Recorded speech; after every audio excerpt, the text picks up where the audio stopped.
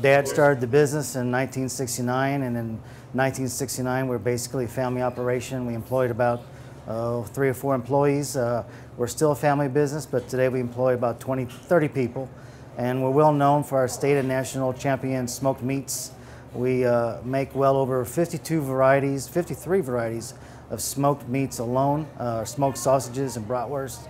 Um, we ship our brats and our sausages, our hams and bacons all over the country. We have a, a really nice, large mail order business, and uh, our sausage showroom, our retail sausage showroom, we, we highlight our sausages through samples and sales of all of our sausage products. Uh, it's a good way to, through sampling, promoting our sausage products, our brats.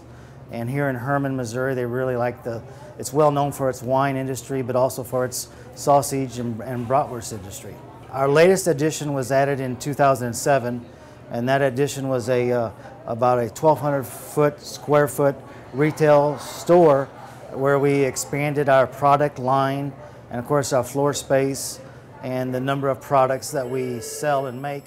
And in addition to all the bratwurst, uh, such as the uh, apple cinnamon bratwurst, the mushroom and Swiss bratwurst, uh, cherry bratwurst, just to name of the few, we expanded into more grocery items, but not just normal grocery items, uh, more of a delicate niche type grocery items with uh, Amish type products, candies, jams, jellies, uh, pickled fruits and vegetables that are very popular. Along with a deli, we have we have an inside deli area where we promote and sell and sample our, our sausages, our our bacons, our hams, our barbecue bratwurst, and barbecue uh, briskets and pulled pork sandwiches. Uh, good indoor seating, good outdoor seating for folks who come in and travel in. We get a good mix of local people uh, but we also get a good mix of tourism, uh, folks who come in. They, they don't come and visit us every week. They might come and visit us every couple of months, but when they do come and visit us every couple of months, they stock up. They will fill up their freezers and, uh, and take a lot of their sausage and bratwurst home for, their, for themselves. In our sausage showroom, we have built it as a, in a corner, we have an antique sausage kitchen. And in that, in that antique sausage kitchen, we have a lot of our old antique sausage equipment that my dad and my grandfather used to use. And we have those on display.